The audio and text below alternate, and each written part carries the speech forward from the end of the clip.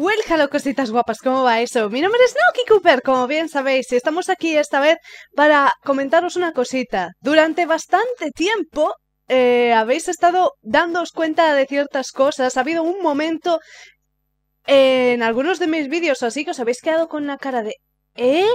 Naoki no es cristiana, no es católica, no es... Wicca. ¿Qué narices es la Wicca? Hace unos cuantos días una cosita guapa me preguntó esto, pero no sabía exactamente cómo cómo describírselo, cómo definirlo.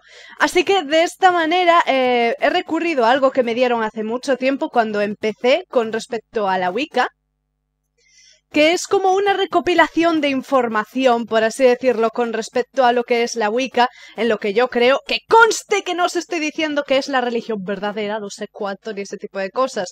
Es en lo que yo creo, cada uno tiene sus creencias, así que es de respetar. Yo lo respeto, de igual forma que espero que también lo respetéis de mi parte, evidentemente. Así que por esa misma razón no vais a ver mi carita, pero os voy a leer lo que es la recopilación entera.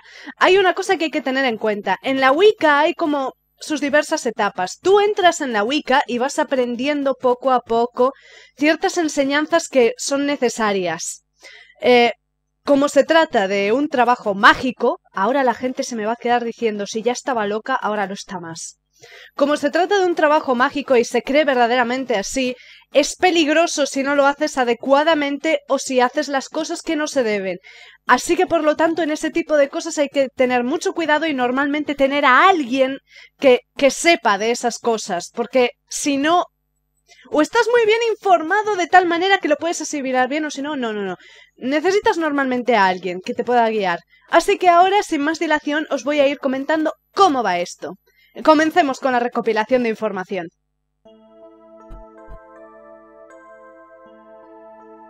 Importancia del dios y la diosa en la Wicca. En la Wicca no se tiene una percepción de un dios todopoderoso. El dios y la diosa son iguales. Siempre se ha referido al dios como el sol, el elemento que nos da calor y permite la vida. También se representa como el dios cornudo, ya que cuida de los animales salvajes. Por eso muchas veces se le simboliza con los cuernos, que es una relación con los animales. En tiempos primitivos, se consideraba que cazar era una de las actividades regidas por el dios, y la domesticación con la diosa. Podemos considerar los dominios del dios los bosques vírgenes, en los que la acción humana no están presentes, en los áridos y cálidos desiertos y las cumbres más altas. Y muchas veces también se consideran como dentro de sus dominios las estrellas, ya que son soles distantes. Junto con la diosa también gobierna el sexo. La Wicca no evade o enmascara el sexo, ya que es un acto. Es una parte de la naturaleza, brinda placer y te ayuda a desconectar de los problemas y perpetúa la especie. Las criaturas sagradas incluyen el toro, el perro, la serpiente, los peces, el ciervo, el dragón, el lobo, el cerdo, el águila, el halcón, el tiburón y la lagartija, entre otros muchos más que se pueden considerar los tótems. En la antigüedad, el dios era el cielo y la madre la tierra. El dios del cielo, la lluvia y los relámpagos descendió y se unió con la diosa. La diosa es la madre universal, fuente de fertilidad, infinita sabiduría y caricias amorosas. Como es conocido en la Wicca, la diosa a menudo tiene tres aspectos, la doncella, la madre y la anciana, simbolizados en la luna, creciente, llena y menguante. Puedes llamarla para que te traigan alegría a tu vida espiritual cuando ésta se encuentre desolada. No significa que cuando tengas un problema espiritual o en la vida cotidiana debas dejarlo en las manos de la diosa, ya que es una maniobra evasiva, una manera de no afrontar los problemas del camino de la vida. Sin embargo, como practicante de la Wicca puedes acudir a ellos para aclarar nuestras mentes y así ayudarnos a, a nosotros mismos. La magia es una herramienta perfecta para ello. Cuando te conectas con la deidad, los wicanos pedimos su ayuda en el ritual que desarrollamos. Más que todo lo que he mencionado, el dios y la diosa nos pueden ayudar a cambiar nuestras vidas, ya que son las energías creativas del universo, ya que no son solo simbología. Cada practicante puede asimilar las apariencias de estos en los rituales con cualquier dios, diosa del panteón griego, egipcio, nórdico, etc. Ya que cada divinidad de los panteones simbolizan una cualidad, y podemos acudir a ellos para añadir poder a los rituales o para purificar nuestra magia. Simbolizando, en ningún caso se deben mezclar creencias de otras religiones y adaptarlas a tu gusto, porque en ese momento deja de ser Wicca. Como ejemplo están los grupos que incluyen el dios cristiano en la Wicca, relacionando al dios y la diosa con Cristo y la Virgen María. Esta clase no son wiccanos, deja de ser wicca. Se puede utilizar la apariencia de un dios, diosa, de panteones griegos, egipcios, etc., porque cada uno tiene una relación con un tema. Por ejemplo, si es salud, utilizarías la imagen de un dios o diosa correspondiente. En este sentido, no se mezcla. Es importante tener claro que en la Wicca cada persona es capaz de hacerlo, no existen intermediarios. Ya estés en un convent, como seas practicante solitario o solitaria, en la Wicca cada individuo tiene contacto directo con las deidades. Como practicantes podemos honrar al dios y la diosa con oraciones o con la carga de la diosa o la carga del dios. Carga de la diosa. Escucha las palabras de la Gran Madre Tierra, quien en tiempos antiguos se le llamaba Artemisa, Astarte, Dione, Melusina, Afrodita, Ceridwen, Diana, Arionhort, Brígida y muchos otros nombres. Cuando necesites cualquier cosa, una vez al mes, y mejor aún cuando la luna esté llena, te reunirás en un lugar secreto y adorarás mi espíritu que soy reina de toda la sabiduría. Serás libre de esclavitud, y como señal de esta libertad estarás desnuda en tus ritos. Canta, festeja, baila, haz música y haz el amor, todo en mi presencia, porque es mío el éxtasis del espíritu y mía también es la alegría de esta tierra. Si no quieres ir desnuda, puedes ponerte en una prenda con la que te sientas libre, y en el tema del sexo, si quieres hacerlo eres libre de ello y no debes avergonzarte. Mío es el amor a todos los seres, mío es el secreto que abre la puerta hacia la juventud, y mía es la copa de vino de la vida que es el caldero de Ceridwen, que es el santo grial de la inmortalidad. Doy el conocimiento del eterno espíritu y más allá de la muerte doy paz, libertad y reunión con todos aquellos que se han ido antes. No pido sacrificios, porque soy la madre de todas las cosas y mi amor brota a toda la tierra. Escucha las palabras de la diosa de la estrella, cuyo polvo son los pies del cielo y cuyo cuerpo circula por el universo. Soy la belleza de la verde tierra y blanca luna entre las estrellas y los misterios de las aguas. Llamo a tu alma para que se levante y venga a mí, porque soy el alma de la naturaleza que da vida al universo. De mí proceden todas las cosas y a mí deben regresar.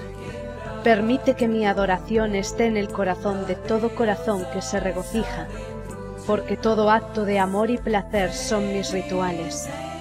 Permite que haya belleza y fuerza, poder y compasión, honor y humildad, gozo y reverencia dentro de ti.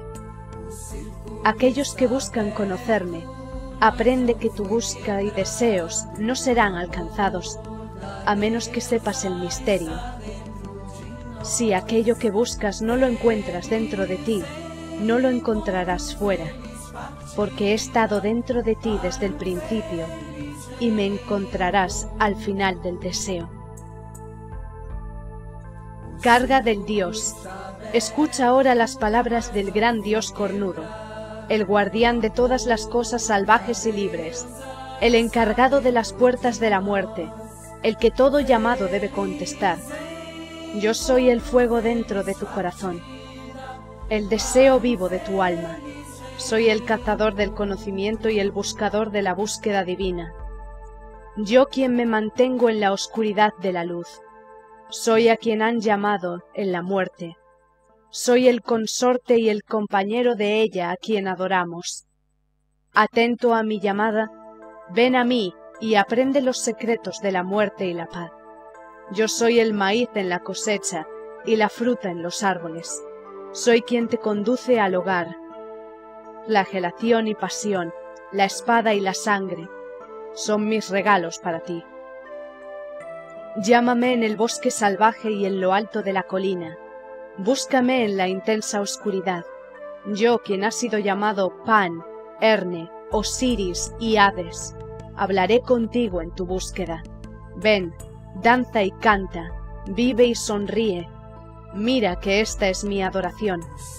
Tú eres mi niño y yo soy tu padre. En las alas rápidas de la noche yo soy quien te pone los pies en la gran madre tierra para renacer y volver otra vez. Tú que piensas buscarme, sabes que soy el indomado viento, la furia de la tormenta y la pasión en tu alma. Búscame con orgullo y humildad, pero mejor que sea con amor y fuerza. Para esto está mi trayectoria. No amo al débil y temeroso, Escucha mi llamada en las largas noches de invierno y estaremos juntos guardando la tierra cuando ella duerme. La triple diosa. La diosa representa todo lo que tiene que ver con lo femenino y la creación. También como la madre tierra, también se la representa como una mujer en sus tres etapas o fases, por la que toda mujer transita siendo este un ciclo sin fin. Estas tres fases de la diosa son los aspectos de la doncella, la madre y el aspecto de la anciana. Cada una de ellas representa un aspecto o etapa de los ciclos de la vida de una mujer y representa las frases principales de la luna. La doncella. La doncella representa la juventud, la nueva vida, la pubertad, la simpleza de la niñez, representada por los celtas como Anu o Dani. Esta no tiene pareja. Los colores que la representan son todos los colores claros y suaves como el blanco, el rosa pálido o el amarillo claro, todos los tonos pastel. Es esencial para la continuación de la vida. La estación que la representa en la naturaleza es la primavera. También está representada en el amanecer. ¿Para qué se le invoca o qué se le puede pedir en un ritual o hechizo? Debido a que la doncella simboliza el aspecto virginal de la diosa, se la invoca para todo aquello que simboliza la búsqueda del amor, los sueños o los nuevos proyectos. La madre. La madre simboliza la nutrición, la fertilidad, la madurez de la feminidad, la suelen representar como una mujer en la flor de la vida y en la cúspide de su poder, la riqueza de la vida, representada por los celtas por Bath o Ariadhod. Su color es el rojo, color de la sangre y de la fuerza vital. También es verde y el cobre.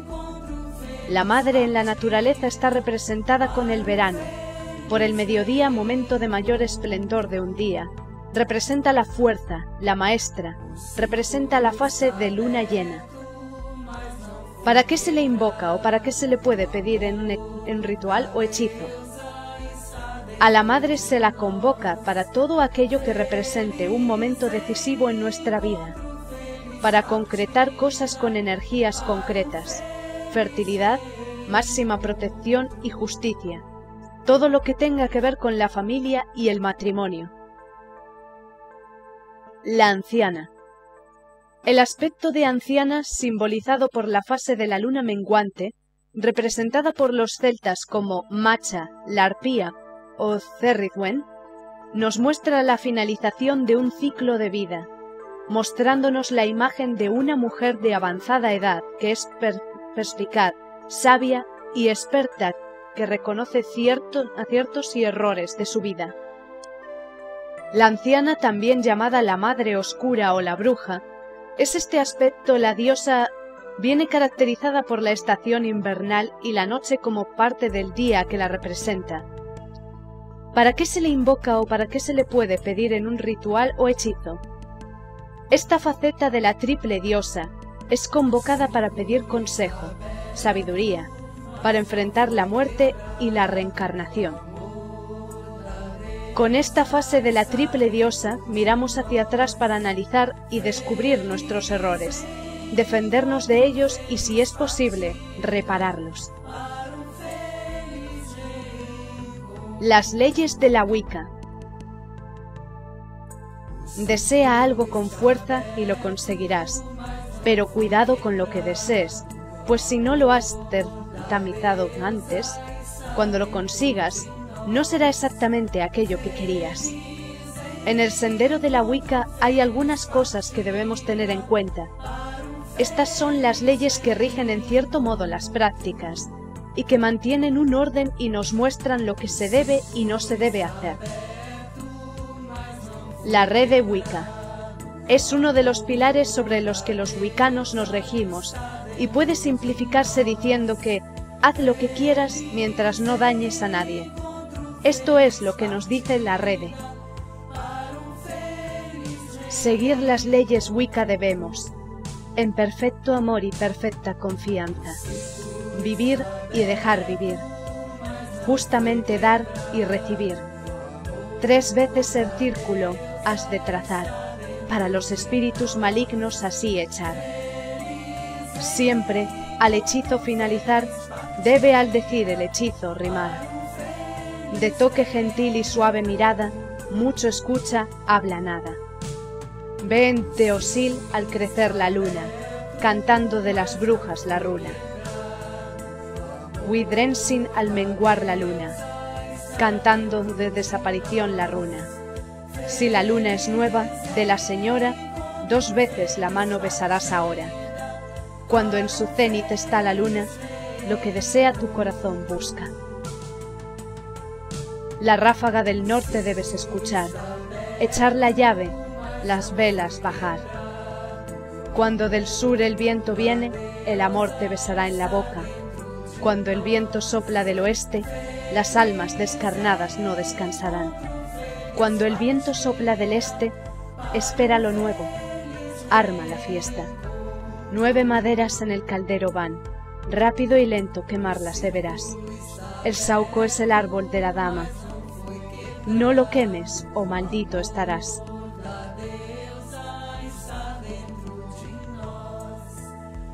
Cuando la rueda comienza a girar, arder los juegos de Beltane debes dejar. Cuando Ayume ha girado la rueda, enciende el tronco y el astado reina cuando tu arbusto, árbol y flor, bendecidos por la Señora son. Donde las ondas del agua van, tira una piedra, sabrás la verdad. Cuando una verdadera necesidad tengas, a la codicia ajena no servirás. No pases tiempo con el tonto, si no quieres ser considerado su amigo. Feliz encuentro, feliz partida. Abrigan el corazón, encienden mejillas. La ley de las tres veces debes recordar. Malo tres veces, bueno tres veces. Cuando la mala suerte te persiga, una estrella azul en tu frente lleva. Siempre fiel en tu amor debes ser, o tu amor infiel te será. Siete palabras la red de Wicca es. Haz lo que quieras, a nadie dañes. Además de la red de Wicca, hay ciertas reglas a tener en cuenta a la hora de realizar ciertos hechizos o rituales. No usar la magia o un hechizo para imponer nuestra voluntad sobre otra persona.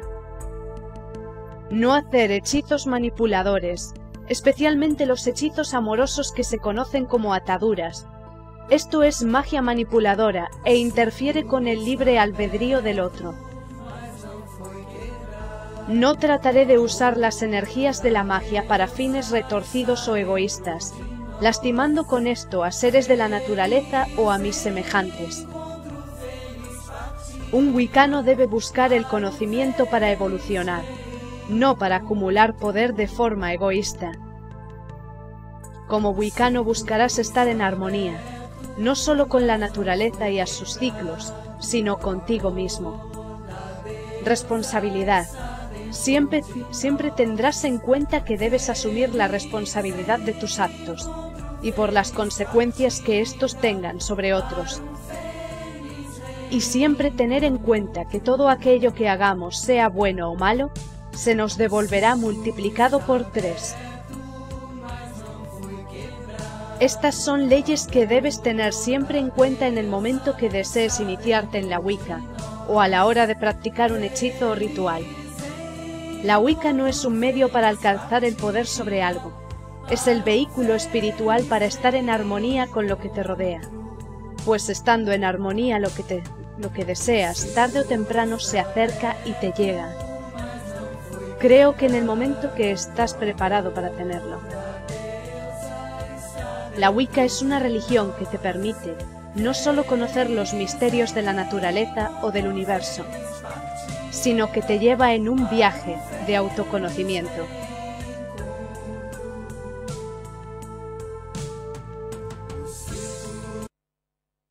Bueno, y técnicamente esto es la Wicca, esto es en lo que creo. Os habéis quedado. Están pensando, Naoki, bruja. no, yo nunca hago nada malo os lo juro. Verdaderamente es así todo el tema de la Wicca. Hay ciertas cosas, se cree muchísimo en el tema de la reencarnación. Creo que de hecho Riku fue quien me enseñó la película cuando estuve con ella. Una de las mejores maneras para definir, mejor que nada, por así decirlo, el tema de la Wicca es una película bastante buena que vi con ella llamado El Atlas de las Nubes. Os aconsejo verla porque aparte tiene muy buenos actores y creo que es una película impresionante. Yo por lo menos os la recomiendo bastante y tiene ciertas cosas que yo creo que podríais sacar ciertas ideas. Prácticamente. Y verdaderamente en esto consiste. Luego también está el tema de que os llamó la atención eso de espíritus guía, que qua... Verdaderamente en la Wicca también están los totems, que es algo que os comenté. Todos en el momento en el que nacemos tenemos un espíritu guía. Tu tótem es prácticamente lo que tú en el corazón eres, por así decirlo, y las circunstancias que se te presentan, pues tienes un espíritu guía u otro. Normalmente los tótems o los espíritus guía, por así decirlo, eh, esto ya es un poco furry. Sí, por el hecho de que al fin y al cabo son espíritus que digamos de animales, por algo son tótems, el oso, el lobo, el dragón incluso, pueden ser al fin y al cabo tus espíritus guía. De ahí va. Mi tótem, como os había comentado en cierto momento, es el oso. Sí. Empezad a reíros, biches.